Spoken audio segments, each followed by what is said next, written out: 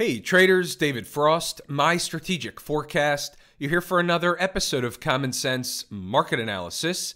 Today is Wednesday, September 18, 2024. We're looking at a daily chart of the SPY or Spider, which is the proxy for the S&P 500. What do we have on the docket today? Today was the Fed Kabuki Theater FOMC interest rate announcement decision. It is a bunch of hype slash B movie type real stuff. Above all the moving averages, the trend is your friend. Today on the news, if you will, on the announcement, they spiked them up to make another new high. Go to an hourly chart, you can see the spike here. And then, first move being the incorrect move, they subsequently turned them down and dropped them like a stone to finish in the red on the day. All that is nonsense. What's important is how the market takes it going forward. We have a lot of stuff going on. We had a new moon, full moon yesterday. We have options expiration, quadruple witching, regular way week this week. We have a full E. Sometimes markets trade up or down into these events today is not going to be an indicator one way or the other. What's the market going to do in week? Or is this going to be the turnaround situation? And here's the thing either way, it doesn't matter. Get out your sticky notes, get out your pen. You don't need a pencil for this one, you don't need an eraser. Here's the situation write this down. The market's going to have another down leg. Whether or not they make another new high, they go up another 100 handles in the S&P, it doesn't matter. There's going to be another down leg and it's certainly coming either before or after, but it's coming in and around and certainly before the end of this year, in and around the election, before after it doesn't matter. It's coming within the fourth quarter of this year. You can take that one to the bank. Another thing in the wall of worry situation we can tune into, we have now the government shutdown situation discussion. We all know how that one plays out. From case to case, rare cases, they do shut down the government for a few weeks. It's a fake shutdown. People are still paying taxes. The government still has an income. The government still runs essential services. Don't let them fool you by shutting down a park or a monument. It's all part of the Kabuki Theater situation. By the way, we've been looking at an hourly chart. I normally have the daily chart up there, no rhyme or reason. Spike to a new high, finish near the low. Again, not down that much by the end of the day. The SPY was only down three tenths of 1%, so it's a nothing burger. Above all the moving averages, the trend is still, in fact, your friend. Couple of days left in the trading week. Here's the weekly chart. Where are they going to close the week? We don't know. They can close the week very positive at a new high, ramp them right up into Friday, or they can begin a retracement operation, which will change the character and the current makeup of the tape. Even though it was Kabuki Day, we still have the opportunity for a morning trade during the morning rush hour or morning rush 90 minutes, if you will. Did anybody make any money today in the live room? The answer is yes. Post it under the video if you were a participant. Help a brother out. I'm not the brother. The brother and sisters are the people out there looking for solutions. They're looking for a place they can learn how the market works and make money. Period. Full stop. If this is one of those places, post your results under the video. Help a brother out. Early morning commentary. This is the zero dark 30 stuff. They were floating around flat ish, waiting on the Fed. We don't need to belabor that point. We'll start with the northbound lane stuff, 565.15. And the southbound or flip side, we had two pivots today. We had a bull and a bear variety. Bull and bear pivots. The bull pivot, 565.15, bull variety. And the flip side situation is heading the other direction, D5. Five minute chart, right of the vertical, is today's activity. Doesn't look like much, but as you can see here, early on in the day, they were playing bouncy ball off of 562.75. They gave you the scalp, they gave you the base hit, they gave you a tiny morning trade. Remember, pause the video, read the notes, go back to the chart, and double check the work. What's the early morning pre FOMC storyline? Chances are they do not or don't get very far in either direction. Well, before the FOMC announcement, that turned out to be the case. They didn't get very far in either direction. Never got much below the bear pivot, never got much above, or correction, didn't get to the bull pivot until the actual announcement.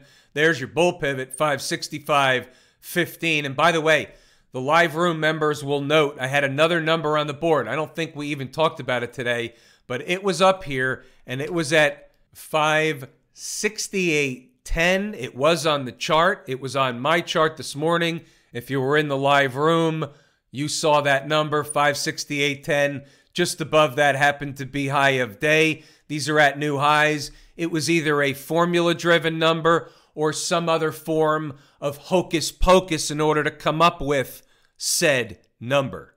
Pause the video, read the notes, go back to the charts and double check the work. It's all in here each and every day. If you're an intraday trader and are trading or would like to trade in the S&P, options on the S&P, the ES, the MES, exchange traded products, whatever it is, we've got the goods, the goods being the numbers. You cannot be successful trading this stuff without having the numbers what's going on over in Camp IWM. We had a pickup in volume. We have a nice tail candle. They made a new high from here, not a new high to these highs, but they did almost to the penny run a test of this breakdown candle high, which comes in at 224.89. Today's high was precisely 224.94. There are no accidents nor coincidences they finished not on the low of day, but they did put in a sign and or signal of a trend change and it was in fact in the midst of an on time type of situation. May want to heed the IWM. Traders can take a short trade against today's high. It is 224.94. Call it 225. Candle closes above that high on a daily basis. That's off the table. This is a textbook scenario. Similar situation brewing over by the folks down at the transportation department. Now, mind you, they're above the trend line, which is bullish. They're above all the moving averages, which is bullish. You do not have the same pickup in volume. You have a tail candle after running a test of a breakdown candle high, the area of. They didn't quite get to it. Sometimes they come up short, and other times they have a tendency to spike them through. This was a test of a breakdown candle high. Doesn't mean they can't or won't go higher. They are in a bullish position above the trend line and above all the moving averages. The weekly close will be uber slash very, very important. Well, what about the Q people? We'll start with above the moving averages. The trend is your friend we will conclude, not conclude, we will include the fact that we have lower highs brewing. We talked about this last night. We have a high, lower high, lower high. Tried to break up today, failed, but they are above all the moving averages. So nothing says we can't gap or they can't gap up tomorrow. They can't go up tomorrow into Friday for sure. There's nothing that says that cannot happen. That is on the table, certainly, while they're above all the moving averages. Remember, the trend is the dominant thing. Might want to write this down, put it on a sticky note 468.55. This is a red line. This is a Irene type of situation. Start getting below intraday and then daily closing below, weekly closing below that area for 68.55 can be an Irene situation for another leg lower and not just for a point or two. Write that down, put it on a sticky note. Very similar chart in the XLF today. Also, another breakout attempt to new highs or higher than yesterday at least, and then they came back in on the Fed Kabuki Theater situation. But is there anything materially wrong with the financials, especially considering we had the Fed rhetoric today? And the answer is XLF down 14 cents, one third and 1% above all the moving averages. Nothing wrong with the financials. We're going to take that at face value until proven otherwise. Let's look at this both ways. We are, in fact, the umpire calling balls and strikes, so we need to be objective. It doesn't matter, this is an XLF chart. It could be any chart. Let's use it as an example to give a lesson on being objective and being the umpire calling balls and strikes. So, what do we have? First, forget these blue lines. Let's get rid of them. Forget the lines on the chart. Let's simplify everything. You have the makings of an on time situation from the most recent low. However, you're above all the moving averages. So being above is bullish. We know that. What you did today was also run a test of the most recent breakdown candle high in the sequence. Okay, that's also first time, best time situation. So up there is resistance, first time, best time. Got an intraday pullback. That is a tradable event for those day traders. Now, the way we look at this is if they stay above the moving averages, and below the breakdown candle high, they'll be eating time off the clock, building energy to make another move higher. If they come below the 20 period moving average, start scaling lower, then something else is developing and the on time type of situation after the test of the most recent breakdown candle high in the sequence takes place, and therefore they've morphed into the bearish mode. So we don't know yet whether this is going to morph into a bearish mode or continue eating time off the clock in a bullish formation near the recent highs. That's the way we look at it from an umpire's perspective. At this point, it can be either. We don't know yet. We've got to put both scenarios on the table.